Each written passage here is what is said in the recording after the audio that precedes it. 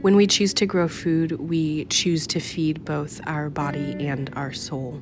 We choose to feed our mouths and feed our health. Growing food means that we don't have instant gratification, but we have a lasting gratification through the things that we have chosen to grow and chosen to eat because we know that it is better for us, it is better for the environment, it's better for our family, and that it is sustainable. There's a lot of talk about sustainability, and it's usually from an eco standpoint. But what about the sustainability of our families and our mental health and who we are and the generation that we're raising up, the ones that we're planting, the seeds that we are sowing now?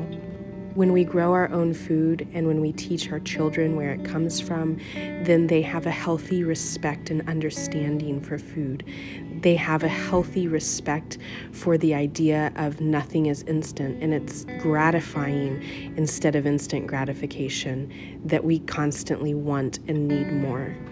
So let's eat our food and rejoice in the idea that it is hard work, but it is very much worth it.